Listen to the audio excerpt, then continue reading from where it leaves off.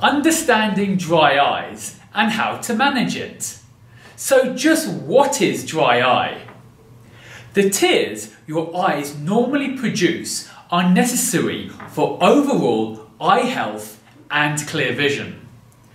Dry eye occurs when your eyes do not produce enough tears or produce tears that do not have the proper chemical composition. Dry eye may also be due to excess tear evaporation.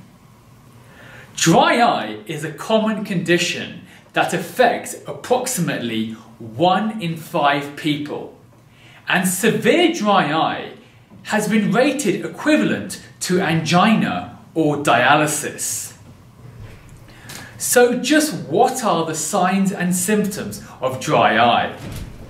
The common signs and symptoms of dry eye include stinging, gritty, itchy, scratchy and uncomfortable eyes. Dry eyes can cause fluctuating vision and sometimes having a burning feeling or a feeling of something foreign within the eye. Some people experience tearing as a result of dry eye. This is a natural reflex of the eyes to create more tears to comfort the eye in response to the dryness.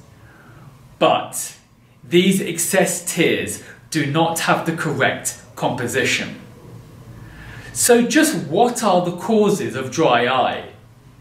Dry eye can be caused by a variety of everyday factors, including aging, changes in hormone levels, prolonged computer use, pollution, a dry environment, post LASIK or cataract surgery, certain medications such as antihistamines, oral contraceptives, or even antidepressants.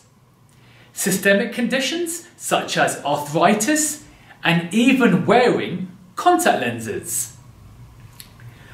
Dry eye is likely to affect 50% of contact lens wearers. So, how can you manage dry eye? We will first start with some modifications of your local environment.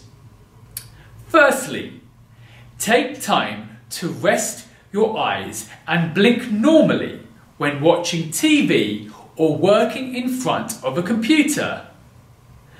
Use the 20-20-20 rule, which is every 20 minutes, take a 20 second break and focus your eyes on something at least 20 feet away. Furthermore, you can adjust the brightness of your computer or TV screen.